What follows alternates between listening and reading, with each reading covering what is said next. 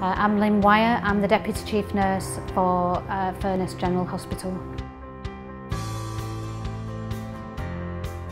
They entail a team of nurses and governors uh, visiting wards and departments uh, to look at the uh, general environment and uh, talk to patients about their experience and to check general cleanliness on the ward.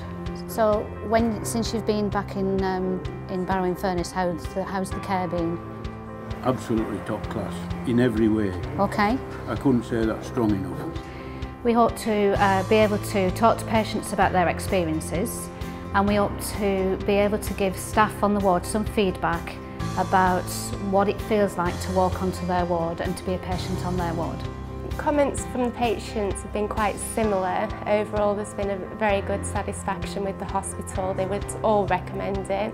Um, this would be the first point of call that they would like to come. They wouldn't want to go anywhere else. So it's been nice to hear that. We start off uh, with the team that are going to undertake the inspection uh, meeting together for a debrief and we agree who's going to do which bit of the inspection.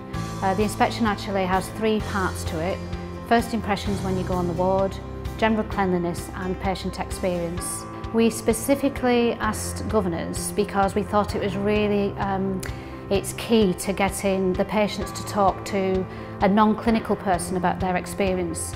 Uh, generally patients will say to nurses that the care is good and we wanted to give them the opportunity to share some of that experience in an honest and open way.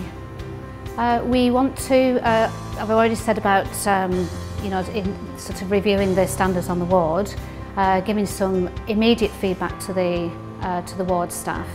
Uh, but also we want to be able to assure ourselves within the organisation that the standards in our wards and departments are of the highest standards that they can be.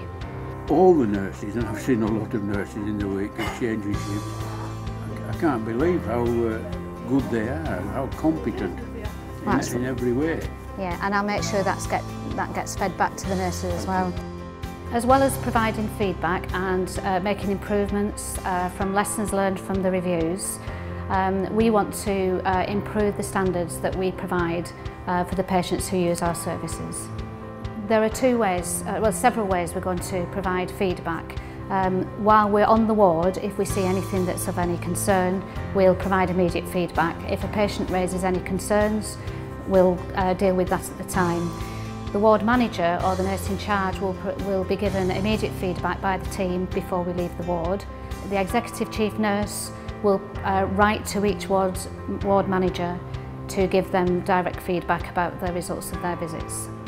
Patients have been saying that the staff have been doing an excellent job, even though they see that they're rushed because they may be short of staff or um, but they said they still make time to talk to the patients, which is important. I think this is an important process because it just helps to highlight and improve quality of care for patients, patient experience and also helps to standardise across the country if this goes further, just to make practice more approachable, more friendly and highlight things that are going well. The two aims of the review are to identify good practice and share that good practice amongst other departments and to identify lessons learned uh, both from good practice and things that aren't um, quite as at the standard we expect them to be.